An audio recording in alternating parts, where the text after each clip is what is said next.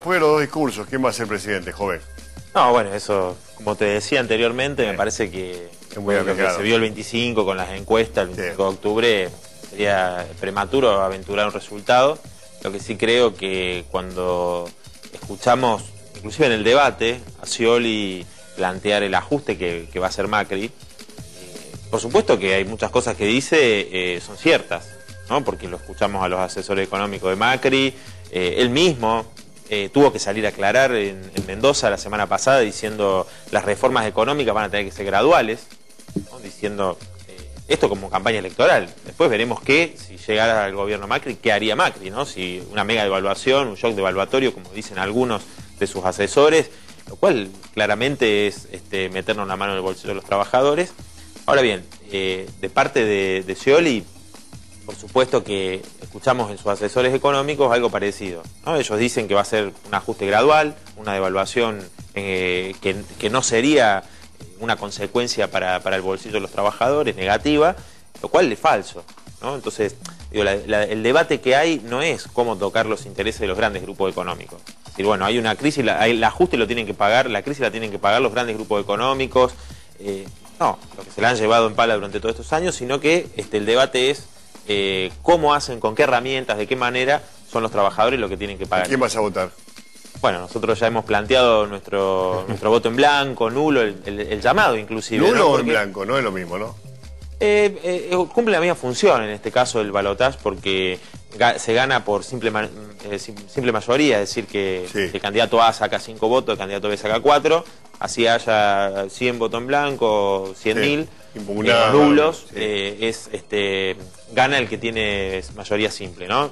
¿Qué función tiene el voto en blanco nulo? La función que tiene es manifestar el rechazo a las políticas de los dos candidatos que claramente son contrarias a los intereses de los trabajadores. Porque si le dice ahora voy a cuidar el trabajo, ahora eh, él dijo hace pocos días, dijo tolerancia cero a las manifestaciones. Como si los trabajadores cuando conquistan, porque no nos engañemos, digo, cuando los trabajadores saben, cuando conquistan aumento de salario, impiden que la empresa despida a sus compañeros, consiguen el pase a planta permanente, eh, es con la lucha, es con movilización, con, huelgas, eh, no, no es que las patronales son buenas y regalan a los trabajadores, no, lo hacen con la lucha. Entonces, decir este, claramente que va a reprimir la protesta social es completamente contradictorio con este discurso para mencionar un elemento, ¿no? Sabemos este, eh, que Scioli es un candidato conservador claramente, no para nada, digamos, va, a beneficiar a, las mayorías populares, avanzar en, derechos elementales como el, tema del derecho al aborto, que realmente cuando escuché lo de Durán Barba, yo participo en la Comisión de Legislación Penal del Congreso, de la Cámara de Diputados.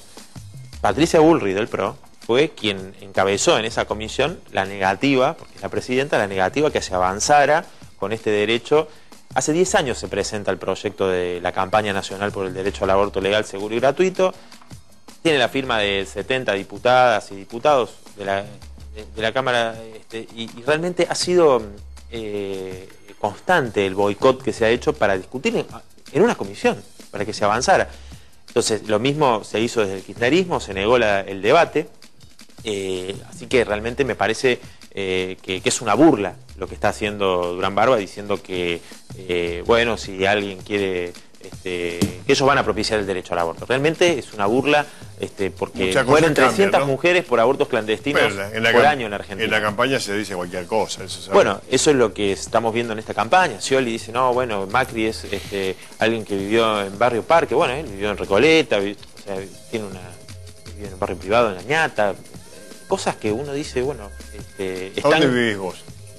Yo vivo en Boedo eh, acá y bueno, en, en Mendoza, en el, en el barrio... ¿No tenés barrio privado? en el barrio no, lejos de, Bueno. de eso, digamos. Así que, no, bueno, cla- aclarar esto, que el voto en blanco es un fuerte mensaje, es un fuerte, fuerte mensaje sí, que se puede dar y creo que después del debate hubo mucha, mucha gente que quizás dudaba que, que se inclinó por el voto en blanco porque vio que... Bueno, una parte de izquierda pidió que voten a Scioli, ¿no? No, son sectores que no, no pertenecen al Frente de Izquierda, que No, bueno, son aquí de la capital y- federal, y- pero a nivel ahí en la nacional... izquierda, eh, pero está bien, la No. izquierda, sin despreciarlo. Y, mira, te, te quería mencionar algo más. Ayer estuve en, en la movilización de los jóvenes de Córdoba, que es- se llama la Marcha de la Gorra, la movilización de los jóvenes contra Sí. la represión policial, contra el código de faltas. Eh, y bueno, fue, fue realmente impresionante una movilización donde surgía esto. En el debate se escuchó a Scioli y Macri competir por quién ponía más policía, más mano dura. Y la manifestación de ayer de esa juventud eh, masiva movilización, demuestra que los dos candidatos tienen la misma política que es rechazada activamente por, un- por un sector muy grande de la juventud que sufre el gatillo fácil, la represión policial. ¿no? Vamos a escuchar a Alberto Pérez, joven, encantado de verte otra vez. ¿eh? Bueno, gracias por Preparate la- para el 2019. por la ¿cómo era? invitación. No, para competir con masa y... No, nos preparamos ahora, el voto en blanco es una primera medida de resistencia a los ajustes, nos preparamos para, para los momentos duros, gane quien gane, que van a venir para los trabajadores. ¿Y dónde está la vicepresidenta Miriam Breckman?